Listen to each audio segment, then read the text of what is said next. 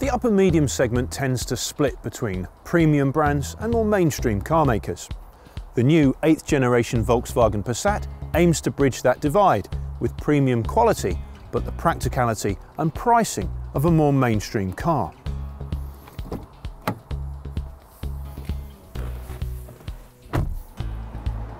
Volkswagen has sent the new Passat out to work in a sharper suit of clothes, and if anything, the estate looks better than the saloon. The new model is instantly recognisable as a Passat, but the more defined lines make the car look lower and leaner than before. And it is leaner. Volkswagen has shaved around 85 kilograms from the weight of the Passat. It's one of several measures aimed at improving fuel efficiency and reducing emissions. The most efficient engine and gearbox combination, for now, is the 1.6 TDI with the DSG transmission. This achieves 70.6 mpg on the combined cycle and emits just 104 grams of kilometre of CO2. That puts the car in the 16% band of benefit in kind taxation, jumping to 18% in April 2015. Those are impressive numbers but not class leading. The new Mondeo, for example, already has a sub 100 gram a kilometre model.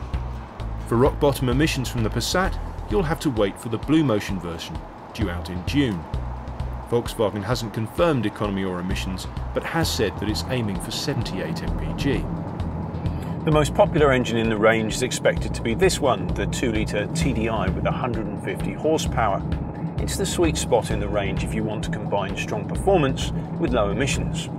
However, if you go for a car with a DSG transmission, like this one, then fuel efficiency does suffer a bit.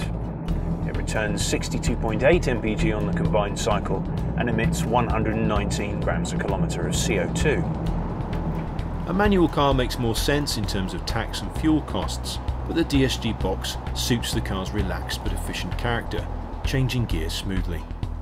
Find a twisting road and the Passat handles well, and the optional dynamic chassis control, £700, allows the driver to fine-tune the car for sporty cornering or a more supple ride. At speed, the car is quiet and comfortable with very little noise entering the cabin. That's just what you want from a car that's designed to travel long distances on the motorway. The cabin is where the Passat really scores over its rivals. Compared to most mainstream cars, the standard of finish is noticeably higher, but compared with prestige cars like the BMW 3 Series and Mercedes-Benz C-Class, there's a lot more room. That goes for passengers and their luggage. Boot space is class leading, seats up or down.